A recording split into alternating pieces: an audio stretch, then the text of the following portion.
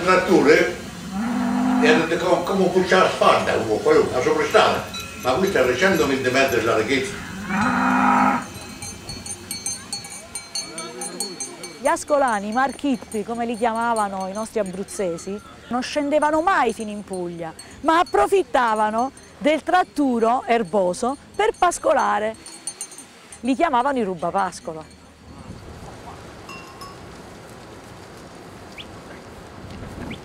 Prima ho avuto macedoni, dopo albanesi e adesso rumeni. Gli italiani neanche a parlarne, non si trova niente. A babbo gli dava 50 lire al mese, a un mese 50 lire, già da solito, a me niente.